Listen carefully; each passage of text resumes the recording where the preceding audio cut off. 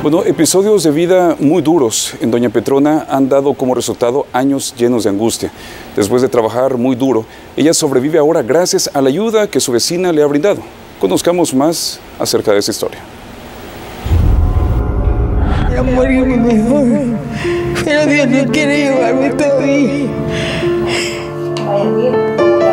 El desconsuelo de doña Petrona Celaya es la consecuencia de haber sufrido dos infartos en el corazón y un derrame cerebral que causó su invalidez.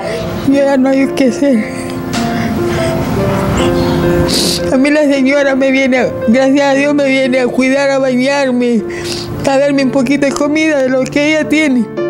Se dedicó por 40 años a vender comida en el mercado central de San Salvador, pero ahora ha quedado sola, incluso sus hijos, según ella, la han abandonado y lamenta no poder valerse por ella misma.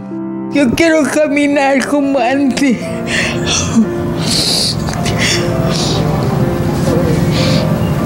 Pero Dios sabe por qué estoy así. Dios sabe hasta cuándo. Esta señora de 73 años vive en el barrio San José en San Marcos. Afortunadamente, su vecina, una mujer con un corazón enorme, le ha ayudado de forma incondicional. Yo la ayudo a parar, a hacerle terapias para que ella se pueda levantar. Me la llevo así para la saco, la saco de allá de la cama, caminando, poquito, poquito, poquito a poco, poquito a poco. El mayor miedo de doña Petrona es que llegue un día en el que no tenga qué comer, además de otras necesidades como pañales para adultos, medicamentos y hasta un lugar más seguro para vivir.